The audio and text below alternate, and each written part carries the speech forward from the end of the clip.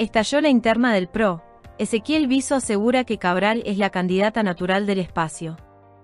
Días atrás, y previo a la visita del precandidato a gobernador de la provincia, Cristian Ritondo, el dirigente de Mercedes, Ezequiel Viso, anunció su visita y tras varios meses de silencio aseguró que la candidata natural e intendenta por el espacio Juntos en Mercedes es Evangelina Cabral.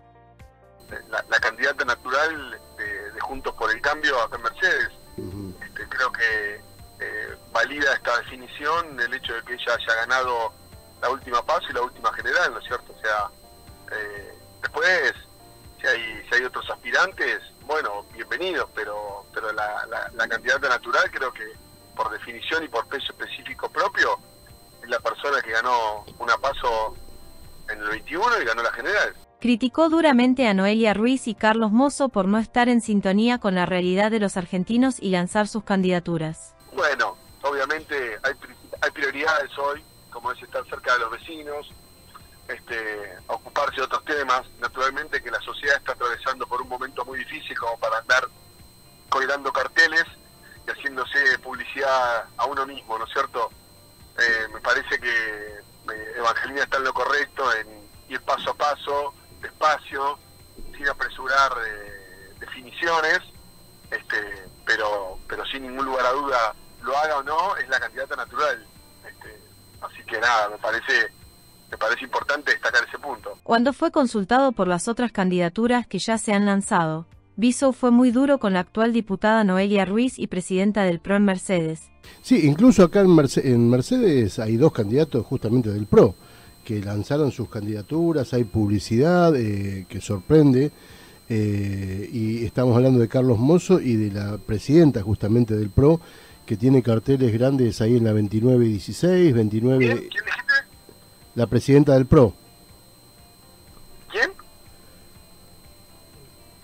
La, la presidenta del PRO. ¿Está acá Mercedes? Noelia Ruiz.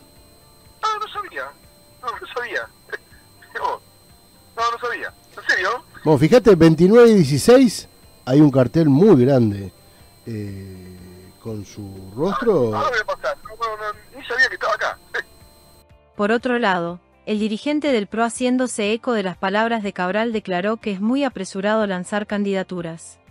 Pero como, como sostiene Evangelina, las prioridades son otras, este, todavía falta un rato para, para empezar a hablar de candidaturas, eh, me parece que es apresurado este, lanzarse eh, aventuradamente, eh, está buenísimo salir a la calle, estar cerca de la gente, ayudar, acompañar, este, pero empezar a lanzar candidaturas me parece que, que, es muy prematuro todavía. Pero bueno, nada, cada uno define su estrategia y su, y, su, y su idea y su compromiso de la manera que le va cayendo mejor en forma.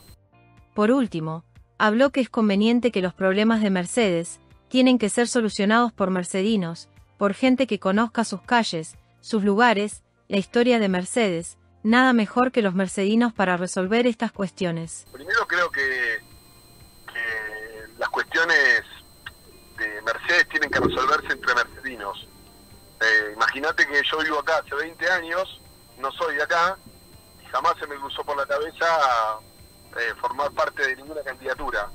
Este, sí, lo he hecho en el último lugar, pero porque, nada, había que acompañar, pero, pero porque no, no, no, no, siento, honestamente, más allá de que quiero mucho a la ciudad y mis hijos son mercedinos, este, no, no, no me parece lo correcto. Creo que los problemas de Mercedes deben ser solucionados por, por mercedinos, eh, principalmente. Este, entonces, eh, a partir de ahí, cualquier discusión me parece que es válida, genuina, tiene, tiene altura.